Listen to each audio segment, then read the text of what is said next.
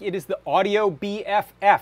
This is for QT Py and Xiao boards, and it gives you both a micro SD card reader and an I2S 3 watt amplifier. So it is perfect for plugging in a small speaker and playing audio files with this just stuck right onto the belly side of a QT Py. There's a little micro SD card there with a bunch of audio samples from the video game Portal. Hello, and again, welcome to the Aperture Science Computer Aided Enrichment Center. Wait now, and cake will be served immediately. What I can do is take that SD card out, grab a different SD card with different samples. I'm just going to slide that in, reset the code, uh, and now I have Totally different set of sound effects. It is the Audio BFF for QT Py and Xiao.